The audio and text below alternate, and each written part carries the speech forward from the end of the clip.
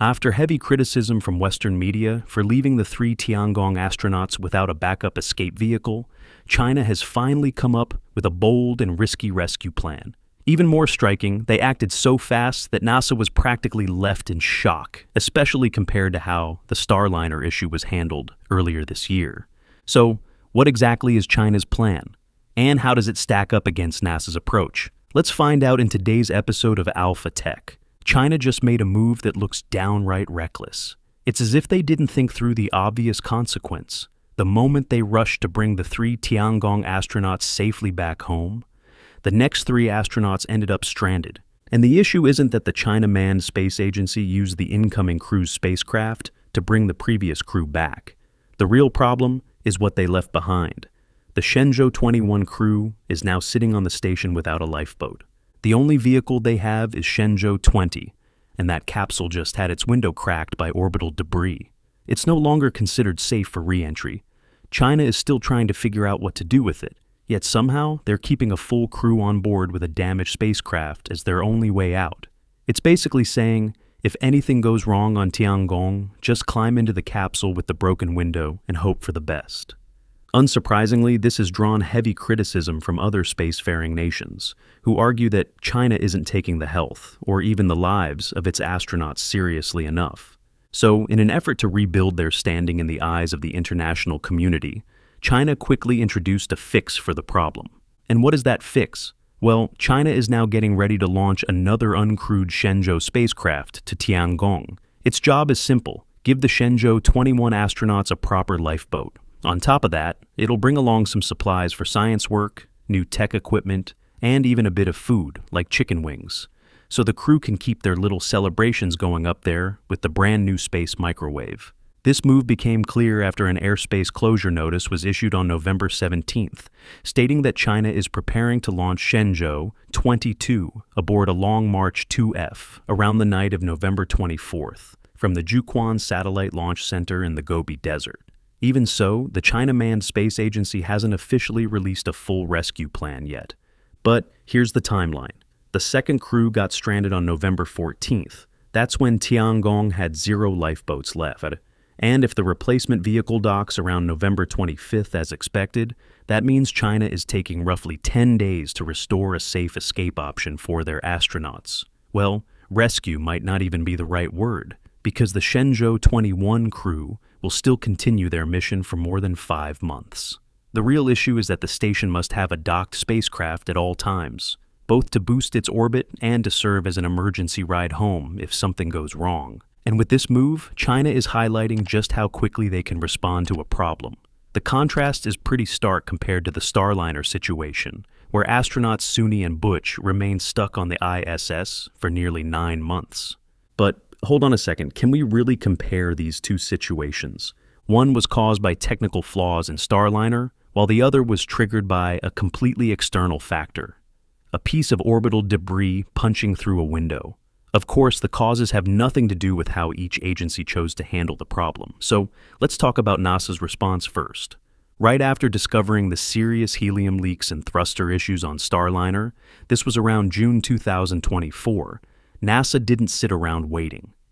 They acted fast and decisively. But then, why did it still take nine months to bring Suni Williams and Butch Wilmore home? It's simple. NASA puts astronaut safety above everything else, especially when those astronauts have dedicated decades of their lives to the space program. That's why Administrator Bill Nelson and Associate Administrator Jim Free made it official. Even though Starliner still had a 96 to 97% chance of returning safely, NASA wasn't willing to accept the remaining 3 to 4% risk. So, they completely removed Starliner as a landing option. After that, NASA immediately worked with SpaceX to reconfigure the Crew 9 mission. The original plan was to launch four astronauts. Now, it would only launch two, Nick Hague and Alexander Gorbunov, leaving two empty seats for Suni and Butch. At the same time, NASA asked SpaceX to extend the docked crew 8 Dragon by nearly a month, just to make sure the ISS always had a lifeboat available, exactly the situation Tiangong is dealing with recently. But because SpaceX's launch schedule was already packed solid, they couldn't simply accelerate the mission. Everything had to follow the existing plan.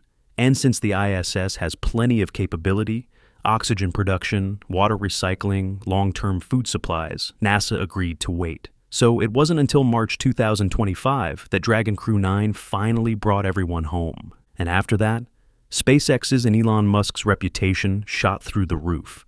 Meanwhile, China cut their station crew from six down to three as fast as possible, not because the mission required it, but because they weren't confident their system could safely support that many people for long. Bringing Shenzhou 20 home so quickly didn't show careful planning, it showed how desperate and risky their approach was. That's why, even though both situations involve rescue missions, the outcomes couldn't be more different. SpaceX got praised. Even former President Donald Trump stepped in, saying, Elon is able to do that with his genius. Number one, they have to get better. I expect to welcome Wilmore and Williams to the Oval Office once they get better. China, on the other hand, got nothing but harsh criticism. And honestly, NASA's slow but safe approach didn't disrupt anything. Suni and Butch themselves said they never felt stranded. They treated it as a once-in-a-lifetime experience, becoming the longest-staying U.S. astronauts in orbit. And on top of that, Trump even joked that he'd personally pay their salaries during the extra months. China's quick response was impressive in terms of speed, but it crossed into being reckless. And while many ordinary citizens might disagree with the government's approach, they don't exactly have the freedom to say it out loud. You know what I mean. According to an official from China's Manned Space Engineering Office speaking on November 15th, the Shenzhou 22 spacecraft, originally scheduled to carry the next crew to Tiangong in April or May of 2026, will now launch without astronauts. He noted that preparations are already underway, and this uncrewed vehicle will bring up food, daily supplies, and new equipment to keep the Shenzhou 21 crew going. With the Shenzhou 20 crew staying far longer than planned, Tiangong supplies are getting tight, and the life support systems are feeling the extra load, so that pretty much confirms everything we've just talked about. At this point, the timeline for launching this backup Shenzhou depends on a whole list of variables. The readiness of Launch Complex 921, the same pad that just sent up Shenzhou 21, local weather conditions, range safety, orbital mechanics between Jiuquan and Tiangong, and the technical status of both the rocket and the spacecraft. Even if the hardware is good to go, China still has to wait for the right orbital alignment, which means several extra days of delay are entirely possible. As for Shenzhou 20, China plans to deorbit it sometime later. In theory, the spacecraft is still attached to the station and accessible, but CMSEO has already concluded it's not safe enough to bring anyone home. In a statement released on November 14th, the agency said that after reviewing images, running simulations, Checking the design and performing wind tunnel testing, they found a small crack on the outer heat-resistant glass of the crew cabin window. The most likely cause, an impact from orbital debris.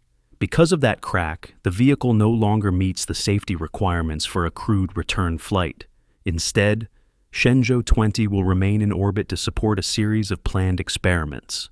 That crack, sitting on the outer thermal layer of the window, poses a serious risk. If it spreads or breaks during re-entry, the inner layers could be exposed to superheated plasma that could compromise the window structure and lead to depressurization of the spacecraft, a life-threatening scenario. From there, the comparison becomes almost ironic. In five years of Crew Dragon flights, SpaceX has never faced a problem like this. The closest incident happened during the Crew 2 mission in 2021, when a piece of debris, roughly the size of a softball and traced back to Japan's H-2A rocket, passed within just one to two kilometers of the capsule as it approached the ISS. The crew had to suit up and strap into their seats just in case, but nothing happened, and ISS controllers simply adjusted the station's orbit to steer clear. And even if a strike had occurred, Crew Dragon is built with layered Whipple shielding, a dual-wall protective system designed to absorb impacts from tiny micrometeoroids and small debris under a millimeter in size, so the odds of serious damage were still extremely low. Meanwhile, across the space industry, other rocket programs were making headlines of their own. On November 17th, Blue Origin's New Glenn booster was safely transported back to Port Canaveral after its first ever successful landing. As soon as it touched down, Jeff Bezos celebrated like a child returning home after years away posting a flurry of photos on X, basically showing off to Elon Musk, Given their rivalry, it's clear Bezos wants Musk's recognition. And Blue Origin isn't stopping there. They want to cement their case even further. How? By reusing that very booster for the next New Glenn launch, currently planned for early next year. Coincidentally, this timing lines up with SpaceX's first launch of Starship Block 3. It almost seems like Blue Origin is pressuring itself to fly before SpaceX. Historically, the company has struggled with these milestones, and it's still unclear if this time will be any different. That said, there's a real concern.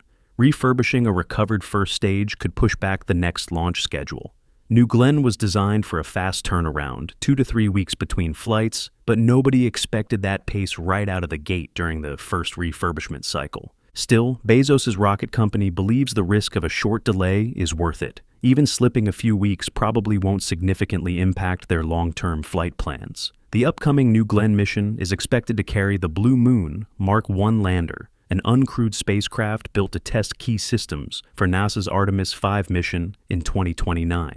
Launching Mark 1 in early 2026 would be ideal, but if the schedule slips, the mission isn't in jeopardy. In fact, CEO Dave Limp has said the lander could be shifted to New Glenn's fourth flight if necessary.